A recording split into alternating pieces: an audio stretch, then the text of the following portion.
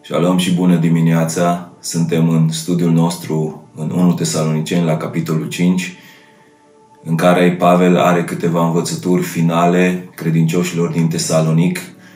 Dacă ultima dată vorbeam despre lucruri pe care trebuie să urmărim să le facem în mod permanent, astăzi Pavel vine să ne îndemne cu privire la lucruri pe care trebuie să le discernem non-stop. Cuvântul Dumnezeu spune de la versetul 19, nu stingeți Duhul, nu disprețuiți prorociile, ci cercetați toate lucrurile și păstrați ce este bun. Feriți-vă de orice se pare rău. Pavel introduce aici o nouă secțiune în care îi cheamă pe cei din Tesalonic să umble într-un spirit de discernământ. Și în primul rând el vine și spune aveți discernământ legat de a nu stinge Duhul. Este tragic că în biserica din ziua de astăzi majoritatea creștinilor, chiar dacă pot fi conectați la cea mai puternică sursă din univers, umblă cu Duhul stins în interiorul lor. Și ăsta este motivul pentru care oamenii din Biserica lui Hristos rodesc așa de puțin. Se bizuiesc mai degrabă pe puterea lor decât pe puterea Duhului Sfânt. Și Pavel vine și le spune celor din Tesalonic, aveți grijă să discerneți când umblați în puterea voastră, pentru că aveți nevoie să umblați în puterea Duhului Sfânt. Când voi umblați în puterea voastră, de fapt, umblați pe pământ cu Duhul Sfânt stins în voi. Și motivul pentru care majoritatea au această putere a Duhului Sfânt stins în omul lăuntrii este, în primul rând, din pricina faptului că nu tratează pe Duhul Sfânt ca pe o persoană. El tratează pe Duhul Sfânt ca pe o forță. Și cum știi simplu dacă îl tratezi pe Duhul Sfânt ca pe o persoană, nu ca pe o forță, este privind la felul în care te relaționezi la El. Dacă singurele momente în care chem prezența și puterea Duhului Sfânt peste viața ta este într-un context religios, într-un context în care ești stârnit legat de intimitate și relația cu Duhul Sfânt sau este duminica la biserică, scumpilor, asta înseamnă că nu tratăm pe Duhul Sfânt ca pe o persoană. Să îl tratezi pe Duhul Sfânt ca o persoană înseamnă să vorbești zilnic cu El, înseamnă să îl implici în activitățile tale cele mai importante care au loc, este să-i ceri sfatul și mai mult este să asculți de El. Să asculți de El, să asculți vocea Lui, să asculți ceea ce El vorbește, să cauți să împlinești și mai mult tratezi pe Duhul Sfânt ca pe o, ca pe o persoană și uh, ai o relație vie cu El atunci când îi dai oportunități ca El să se folosească de tine. Sunt așa de puțini oameni în ziua de astăzi care mai trăiesc lăsând pe Duhul Sfânt să se manifeste prin ei. Îl lași pe Duhul Sfânt să se manifeste prin tine, de exemplu, atunci când te rogi pentru bolnavi. Cât de des faci acest lucru? Pentru că orice rugăciune pe care o faci pentru cei bolnavi este o invitație a Duhului Sfânt să lucreze prin tine. Te lași umplut de Duhul Sfânt și călăuzit de Duhul Sfânt atunci când te rogi pentru cei din jurul tău. Pentru că, din nou, este o invitație la adresa Duhului Sfânt să vină să lucreze prin tine. Și este necesar să deschidem uși și oportunități prin care Duhul Sfânt să vină să se folosească de noi. De aceea, nu stingeți Duhul. Ai discernământ azi dacă ești într-un loc în care treci prin puterile tale sau ești sub călăuzirea, sub puterea Duhului Sfânt. Mai departe, el vine și spune, nu disprețuiți prorociile. Noi acum suntem într-un context în care, cel puțin personal, am auzit foarte, foarte multe prorocii și dacă auzi genul ăsta de prorocii pe care le-am auzit eu în ultima vreme, sincer, poți să ajungi într-un loc în care să disprețuiești profețiile. Pentru că am auzit foarte multe lucruri care nu sunt nici după inima lui Dumnezeu, nici în acord cu cuvântul lui Dumnezeu, dar pe care oamenii le-au spus. Și vreau să vă spun simplu, scumpilor, nu orice ne trece prin cap este călăuzirea și este un cuvânt de la Dumnezeu.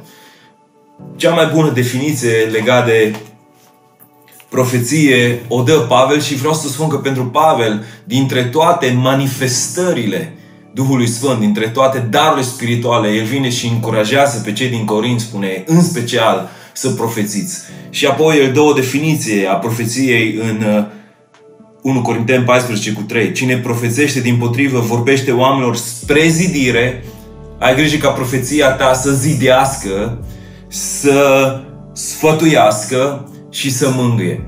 Profețiile astea care vin să pună mai degrabă frică noi legat de ce va urma, ce se va întâmpla. Scumpilor, nu sunt ceea ce Dumnezeu ar vrea pentru noi, pentru că profeția trebuie să ne zidească, să ne sfătuiască și să ne mângâie, să ne zidească, să ne ridice. Și Pavel vine și spune, nu disprețuiți acest lucru, ci căutați să discerneți din nou, căutați să discerneți dacă profeția este de la Dumnezeu, dacă vă zidește, dacă vă mângâie, dacă vă sfătuiește, dacă uh, vă face să vă apropiați mai mult de Dumnezeu sau dacă pune voi teamă, frică, etc. Și el vine și spune, cercetați toate lucrurile și păstrați ce este bun. Cu alte cuvinte, orice profeție pe care o auzi este bine să o cercetezi. Și să iei ce este bun în ea. Nu este bine să, a, nu este de la Domnul, să o arunci la noi. Nu, nu, este bine să cercetezi și să iei ceea ce este bun. Pentru tine, pentru viața ta. Iar apoi el vine și spune, feriți-vă de orice se pare rău. Vezi, aceste lucruri pe care Pavel le aduce acum înaintea celor din Tesalonic sunt lucruri greu de înțeles, greu de priceput și greu de separat legat de celelalte lucruri. Pentru că și în ziua de astăzi este o linie atât de fină între ceea ce este bine și ceea ce este rău.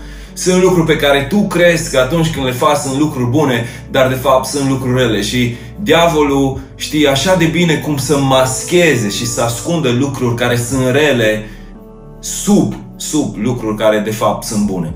De aceea el vine și spune, feriți-vă de orice se pare rău. Și este o chemare pentru fiecare dintre noi să nu ne unim, să nu ne aliem cu nimic din ceea ce este rău. Să căutăm să cercetăm ca tot ceea ce facem să facem într-un spirit al bunătății și al dragostei.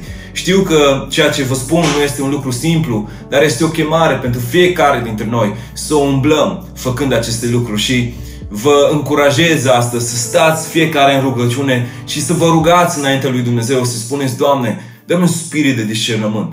Fă să înțeleg. Doamne, vreau să mă las cercetat de Tine este cumva stins Duhul Sfânt în viața mea, iar dacă este stinsă în ființa ta la untrică această putere supranaturală lui Dumnezeu, cere Dumnezeu și spune, Doamne, aprinde focul din nou. Aprinde focul din nou în lăuntru meu. Dacă te-ai uh, îndoit legat de faptul că Dumnezeu se poate folosi de tine legat de acest spirit al profeției și ai impresia că profeția trebuie să fie doar descoperire extraordinară cu privire la viitor. Scumpilor, cuvântul Dumnezeu spune că profetic este să încurajezi, să zidești, să mângâi. Să știți că 90% uh, din spiritul profetic este mai degrabă zidire și încurajare și 10% este uh, cu privire la lucrurile sfârșitului, vremea din urmă, viitor, chestii de genul ăsta. Ești într-un spirit profetic atunci când îi zidezi pe cei din jurul tău. Ești într-un spirit profetic atunci când îi sfătuiești și atunci când îi mângâi. Și roagă-te lui Dumnezeu, Doamne, întețește acest spirit profetic peste mine, peste viața mea. Apoi spune, Doamne, dă lumină să pot să discern din tot ceea ce aud în jurul meu, din tot ceea ce se vorbește, pentru că în ziua de astăzi sunt așa de mulți oameni care nu vorbesc cuvintele lui Dumnezeu în timp ce sunt cu Dumnezeu în gurile lor. E nevoie să discernem și e nevoie să ascultăm de vocea lui Dumnezeu. Biblia spune că în vremele din urmă se vor ridica mulți profeți mincinoși. Câți profeți mincinoși cunoști? Câți cunoști tu? Ca și proroci mincinoși. Vezi, este foarte greu să discernem între cei care ne spun adevărul și cei care, de fapt, sunt pentru ei, pentru fama lor, pentru creșterea lor, pentru mai multe like-uri, pentru mai mulți followers. E nevoie să discernem ceea ce vine de la Dumnezeu. Și apoi, feriți-vă de orice vi se pare rău, roagă-te lui Dumnezeu și spune, Doamne, vreau să fac binele. Știu că rău stă lipit de mine, dar aș vrea să umblu bine. Dă-mi călăuzire, dă-mi înțelepciune, dă-mi lumină să pot să umblu aproape de ceea ce Tu vrei ca eu să fac. Domnul să vă binecuvinteze pe fiecare dintre voi. Vreau să mă rog, Aba, lasă favorul Tău peste poporul Tău, peste biserica Ta. Doamne, dacă este vreunul dintre noi care umblăm cu Duhul stins în noi în viețile noastre, Aba, vreau să mă rog, aprinde focul din nou. Descoperă-ne orice lucru antistat pe Duhul Sfânt în ființele noastre și nu vrem să umblăm cu un spirit stins. Vrem să umblăm în acord cu planurile tale, să împlinim voia ta. Apoi, Doamne, mă rog, mă rog pentru un spirit profetic în biserica ta și un duc de discernământ.